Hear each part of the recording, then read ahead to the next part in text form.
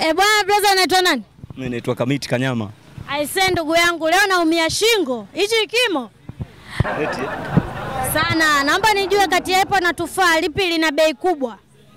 da, mimi kwa uelewa wangu mi naona tufaa na epo ni hilo hilo tunda moja tu, sema natofautiana majina tu hapo.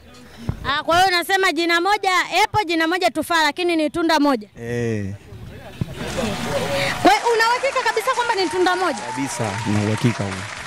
Kwa hiyo tufaa hiyo ni lugha gani? Maana hapo najua ni Kizungu, tufaa lugha gani?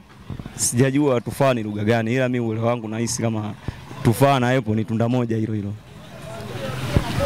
Kwa hiyo tufaa na hapo ni tunda moja, lakini sasa niambie tufaa ni lugha gani hiyo? Lugha gani? Maana Hiyo ni lugha gani hiyo tufaa sasa? Unajua lugha. Eh, Huyu katoboa, lakini anashindwa kuniambia kwamba hilo tufaa ambalo ndoepo ni lugha gani?